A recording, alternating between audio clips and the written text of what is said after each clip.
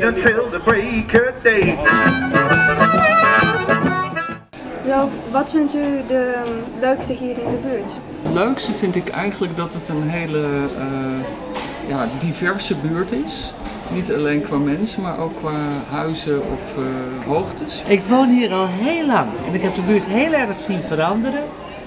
En wat ik het allerleukste vind is dat er zoveel verschillende mensen in de buurt zi- zijn. Van allerlei soorten, overal vandaan. En dat we elkaar zo gewoon gedag zijn.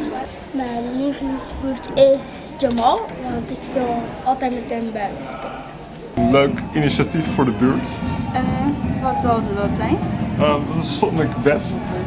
Een initiatief waarbij ze luisteren naar de stad en mensen laten horen wat de geluiden van andere mensen zijn. Zodat je de buurt meer bij elkaar brengt en nadenkt over wat er anders zou kunnen. Vroeger woonde ik hier in de buurt en ik wil heel graag de groetjes doen aan mijn oude huisbaas Bram. Eh, dat we dan nog wel een keertje muziek gaan maken, dat lijkt me wel leuk. Dat zijn eh, eigenlijk onze onderburen. Een hele lieve Marokkaanse familie. Maar ik weet eigenlijk niet precies hoe ze heten. Het leukste aan de buurt vind ik Nou, en wat is? ja, de voethallen. Ja, waarom? Waarom? Nou, er is ehm, heel wat eh, te doen, leuke tentjes, eh, ik kan er altijd wel heen. Ik wil de groetjes doen aan een vriendinnetje van mij, mijn eh, beste vriendin, en die woont bij mij in de buurt en dat is Mana. Het leukste in deze buurt is, de- is dit, dit, dit gebeurde natuurlijk hier, de Hallen. Het is met, met grote afstand het leukste in de hele buurt.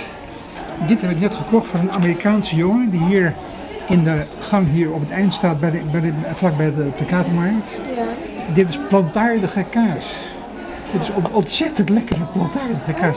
Ja, dat kun je bij de jongen daar kopen.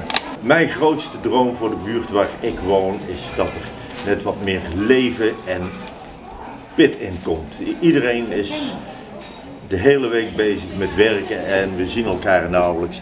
En het zou leuk zijn als er initiatieven kwamen om dat wat meer op te leuken.